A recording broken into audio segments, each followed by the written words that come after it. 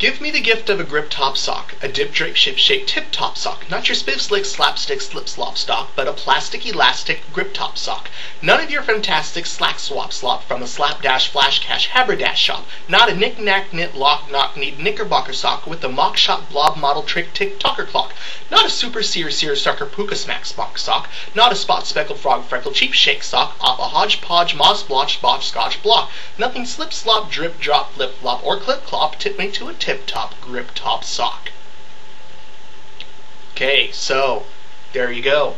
Uh, have fun with that. Use it before you speak. Um, except for you, Michael, you don't have to use it because uh, you're almost perfect anyway. So, all of that being said, please, please rate my video. Rate it, rate it, rate it. And by all means, leave a comment. I do respond to my comments, um, all of them.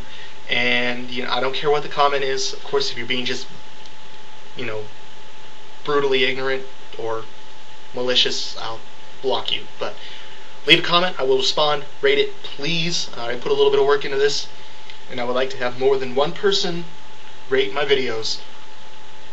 Uh, yes. So, rate it! Rate it. And have a nice afternoon.